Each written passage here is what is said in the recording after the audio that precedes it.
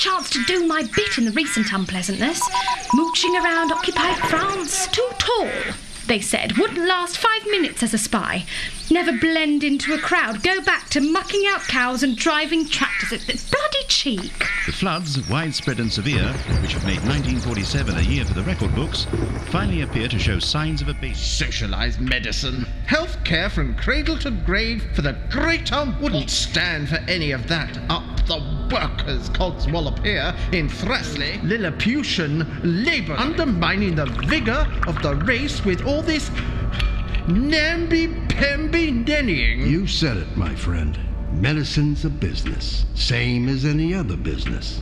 And government has no business butting in. Here, here. Hauptsturmführer Walter Kessler. How was your journey, Herr Hauptsturmführer?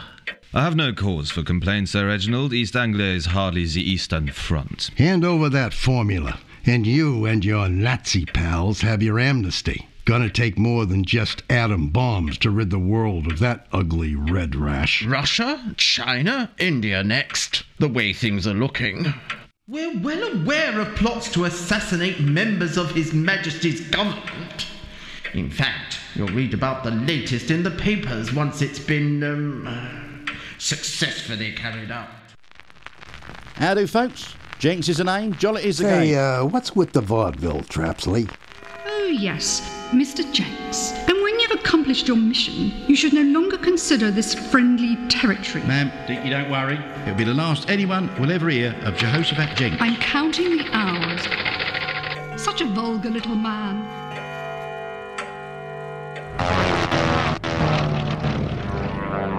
Jenks is their man on the inside, uses those three little songbirds as cover. That melodious musical tale from distant shores, the Dinky Dong. Milady's definitely hatching something rancid, and if I know her, she's not necessarily singing from the same hymn sheet as Sir Reginald. The woman's capable of anything. You see, Reggie may believe he married a pea brained debutante, but in truth, my seldom strays far beyond the confines of his fool's paradise. So you see, Herr Kessler, your little secret is safe. Oh, do stop fidgeting, Joyce, can't you? No picnic posing for paintings, Kay, believe me. Loretta. Loretta Decane. And uh, how long have you been uh, working for Mr. Murchison? Couple of weeks is all. I Met in the American bar at the Savoy. You see now me, I'm more of an oyster kind of girl. But times get lean, and I get hungry, and I can't afford to turn my nose up at a snail, if you know what I'm saying. Twigden, Leonora. I'm looking for Mr. Peter West. I'm afraid you've just missed him. Many's the night I've cuddled up with a Peter West. Hasn't disappointed me yet. Well, I dare say his cover art as a model account for most of his sales. Peter West is a lost cause. Peter West is a bona fide war hero. Breathtakingly audacious prison camp escape. Umpteen doodle bugs shot out of the sky. I'll never believe a book jacket. Most of those plaudits belong to a pal of mine, named the Flight Sergeant Byron Bailey. Craziest yarn I ever heard. Didn't pick up much of it. Apparently, from what those two poles in the back of the truck were saying, we're planning to do the dirty on our Russian chums. You know, twist their arms till they please, turn and shut trot up. off home. Easier And let said me than go to done. sleep. A certain P. Wendell Murchison. Name rings a bell. That fellow Truman kicked out of the State Department a while back for warmongering. Ah, yes. Goes around in a cowboy hat. Still like to keep up with the news. Citizens, responsibility, Peter. Anyway, seems this Murchison had dinner last week with some top brass from the Polish government in exile. Table talk was about Nazi nerve gas that only kills communists. And pigs are like Spitfire. My sentiments exactly, Byron, old chum. Morning, Joyce. Sleep well, I hope. Were you intending to share your scoop with us, as well as the flight sergeant? Scoop? Kay overheard you talking to Mr. Bailey this morning outside the hut. Your voices woke her up. D- Dash it all, Peter. These days, one hears a lot of bilge talking about setting the world to rights. But don't you think it at least worth looking into, Peter? Frankly, no. Then you're not the man I thought you were. Joyce, wait. All right. I'll, uh, I'll tell you what I'll do. I'll, I'll take it to my publisher. Your publisher? A big fish among the hush hush boys during the war. What say we let Sir Reginald Thrapsley weigh up the threat to world peace? Gentlemen, all six chambers are loaded, and I came joint seventh in the Polish National Pistol Shooting Championship of 1938. I would therefore strongly advise you to remain seated. Well, Captain, so you're still refusing to explain the meaning of this? Apologies, Mr. West, but events have taken an unexpected turn, and certain precautions are necessary. Well, come on, the pair of you. Don't just stand there staring. Get in. Haven't you ever seen a duck truck before? There, on the horizon, see it? Thrapsley Mound.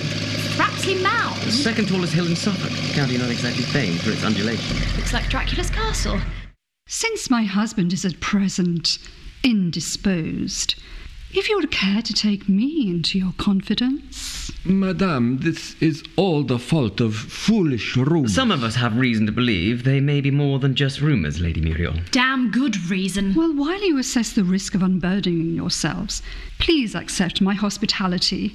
I'm sure a chance to freshen up and a bite to eat. That can wait. Can't say I've much appetite for grub with all this international skullduggery unfolding as we speak. Might we talk in private, madame? No dice. No telling what kind of yarn the captain here might try and spin behind closed doors, seeing as he's in on this filthy scheme to start another war. Well, it does seem the rumour mongers have succeeded in sowing distrust in some quarters. Look here, Peter, this whole business stinks to high heaven. And I'm sure you two didn't fall for all that hogwash. This lady what's her name might as well have been wearing a cloak and clutching a dagger. Well, if Lady Muriel's not telling the truth, the whole truth, and nothing but, then what exactly do you propose to do about it? Biggles wouldn't stand there looking stumped. Lady Muriel, hello again. Good evening, Mr. West. And Flight Sergeant Bailey. I see you're admiring the portrait of my illustrious ancestor. George Plantagenet, Duke of Clarence, if I'm not mistaken. You evince an impressive knowledge of English history, Flight Sergeant. Random snippets gleaned on tedious train journeys, including a rather lengthy article about that fellow up there. Apparently, him have descendants who claim to be England's true royalty. Yes, some of us certainly do feel uh, cheated, shall we say. Hello, Kay. How long has it been? Ah, my brother, the fascist. Damn place is like a maze. Wonder where this door leads. Oh, gosh, uh, terribly sorry to disturb you and all that, but, um, I seem to have lost my bearings. Wrong room, obviously. I'm afraid if you are seeking directions, I would be of little help. You were guest too, then? I am uh, the confidential secretary to the cultural attaché for Switzerland. Swiss, eh? Well, it so happens I've a bone to pick with you, fellows.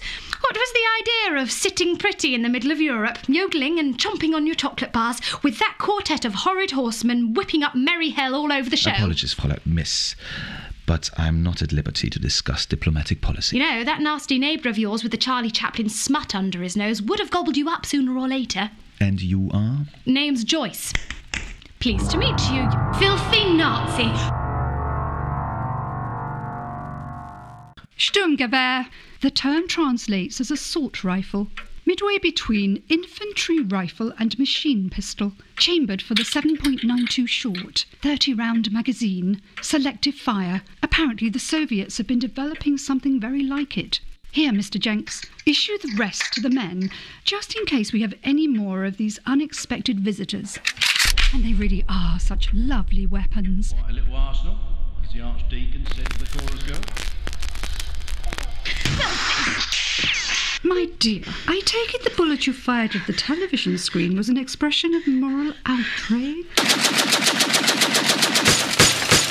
We deal in lead, and I don't mean the church roof variety. Those shots will have been heard. Well, since the cat's already out of the bag. There, that should slow you down. Won't be able to come after us with punctured tyres. Say, what's going on out there? Is this Suffolk or Chicago? Where are we? You've uh, no memory at all. Only my name. West. We are lovers, Peter. So you've forgotten even I'm- that, my sweet. I'm sorry, I, my clothes. Where are my clothes? Peter? Where's Peter? Peter? He's, uh, He didn't get away. You mean. I don't know. Then I'm going back up there. Joyce, that's suicide. Well, some of us are not prepared to leave Peter to the tender mercies of those filthy swine up there. Safe journey, flyboy. Break away. Thank you. Bon voyage. World's first televised assassination, live from Windsor Castle. What about you? I have a job to do here. In the church? In town. My nails are sharp, and my vengeance extreme. And please bear in mind that this weapon, at a conservative estimate, boasts a cyclic rate of fire of some 500 rounds per minute. Ripping you to shreds would be child's play. Slink off back to Hades, you treacherous harridan.